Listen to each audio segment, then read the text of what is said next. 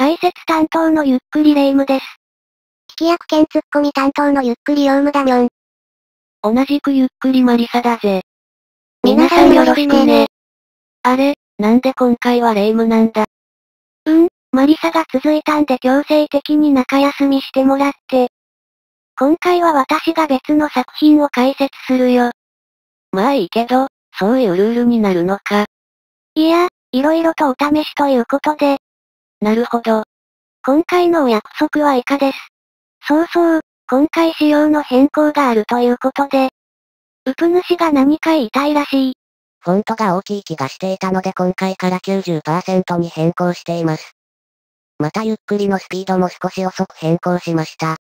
おかしいと思ったらまた変更するかもです。ご意見あればお願いします。はい戻って今回の作品はこれです。パチパチパチパチ。作品の概要は以下です。そして、まだ終わっていない。なにー ?5 年も何してるの？何してるんでしょうね。今回ウプ主が Kindle で全巻購入して読み直したんだよね。紙版は11巻までしか持っていなかったのと、その段階であと1から2巻くらいって感じだったので、ウプ主も13巻で終わりと思って読んで見事に裏切られたらしいよ。指揮章。何か聞こえてきたにょん。雑音だな。白鳥四郎さんは、竜王のお仕事、というラノベを、2015年から刊行しているだよね。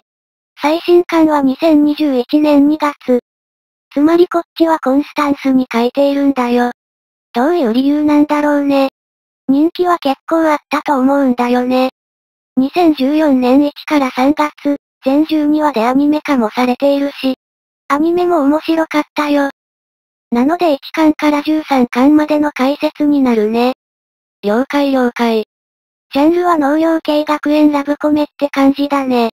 舞台は岐阜県の岐阜県立多摩農林高等学校という架空の農業高校が舞台だね。ほぼこの学園で完結しているね。例外は主役の畑工作くんの村に行ったり、修学旅行に行った時くらいだね。基本的には勉学に勤しむ畑工作くんたちを中心に進むね。荒川博夢さんの、銀のさじシルバースプーンをよりギャグ向きに振り切った感じだね。ご存知の方も多いかもだけど荒川博夢さんは北海道の農場出身なので、どちらかというと実体験よりだけど、農林は白鳥四郎さんが取材で得た知識をもとに書いているね。次に簡単な人間関係とストーリーを解説するね。主役の畑工作くんは学校で農業の勉強に励む少年です。ただ重度のアイドルオタクで特定のアイドル。笑顔が可愛い草壁ゆかの大ファンです。どれくらいファンかって部屋中がグッズでいっぱいになるくらい。なんかよくいる気がするみょん。好きなものは好きだしグッズとか買っちゃうぜ。そうやって経済は回るから悪いことじゃないけど。好きじゃない人にはかなり変人に移るからね。で、畑工作くんは学校の寮で生活しており、同じ寮には以下のメンバーがいるよ。幼馴染の中沢みのりさん。親友の鎌鳥圭くん。ペットの若旦那、わらびー。ただし若旦那は通い。わらびーまでいるんだ。すごいな農業高校。うん、まあこれは色々と話があるけど。ネタバレになるからここでは言いません。自分で読んで確認ね。ラジャー。そんなある日ある衝撃のニュースが流れる。なんと草壁ゆかが引退すると。ええー、もうすべてのやる気をなくした畑工作くん。そんな彼を励ます中沢みのりさんとかまとりけいくん。でもまあよくある話だみょん。そうそう、好きな店がなくなったり、グループが解散とかな。農業は休むことなんてできないから。悩む間もなく強制労働だけどね。翌日転校生が来たと担当のベッキ夏美先生が一人の少女を案内する。現れたその少女は無表情に木下凛吾と名乗った。しかし彼女を見た畑工作くんは衝撃を受けた。なんと彼女は草壁床に売り二つだったのだ。突然芸能界から引退した笑顔が可愛い草壁床。そして魔王数転校してきた無表情な木下凛吾。彼女の正体は、ザザーン、って感じでね。いや同一人物なんだけどね。え、なんでアイドルが農業高校に？そう思うよね。でもここがストーリーのバックボーンなんだよね。草壁ゆかはアイドルを続けていたが、最近自然に笑うことができなくなっていた。そんな日々に野菜が送られてきていた。その野菜を食べたところ味に感動した。そしてリハビリのために農業高校に入学する。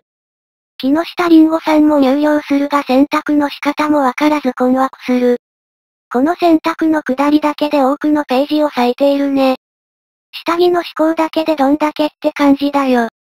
また中澤みのりさんは寮の食事を担当しているけど季節によっては大量に農作物が入るので有効活用しているよ。そのおかげで全員がすごいことになって原料で大騒ぎとか。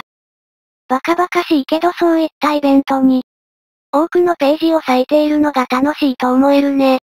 同じ2年 A 組、生産科学科の吉田、校長さんは胸が、大きいことで相当いじられてるキャラだし。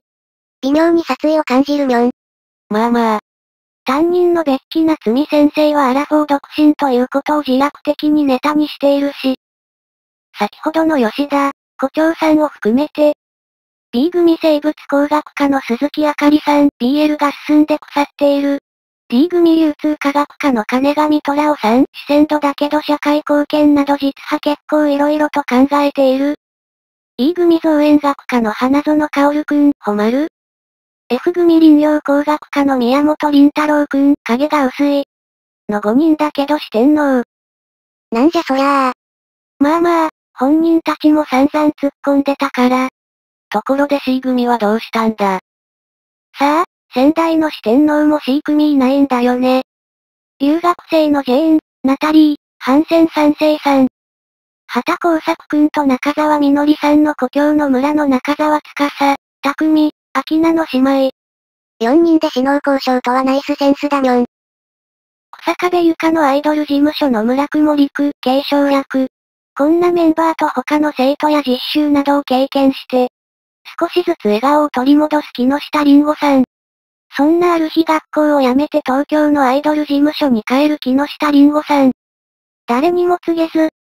そして彼女を追いかけて東京に行こうとする畑工作くん。というところで13巻が終わっているんだよ。あと1巻くらいだろ。最後まで書けよ。普通ならあと1巻で完結して。おまけで1巻短編って流れじゃないのかよ。めっちゃ、もやもやするよ。ちなみに時間的には高2の春から翌年の3月くらいまでのストーリーだね。ストーリーは全体的に農業高校生の日常を書いているけどかなりギャグ寄りだね。パロディーも多いので好き嫌いは分かれるかもね。かなり下品な下ネタも多いしね。どんなパロディがあるんだ？こんな感じ。セイントセイヤ。ジョジョの奇妙な冒険。機動戦士ゼータガンダム。銀河。変態仮面。風の谷のナウシカ。北斗の剣。ドラゴンボール。明日のジョー。少林サッカー。まだまだいっぱいあるけどこんな感じだね。でも一方できちんと岐阜の農業の行事なども説明しているし、出稼ぎ労働者など様々な問題も出てくるね。品種とか農薬や農協など農家が抱える問題とかも。4割をふざけ6割真面目って感じかな。あとどうでもいい情報だけど木下りんごさんは一つ大きな歌詞があるね。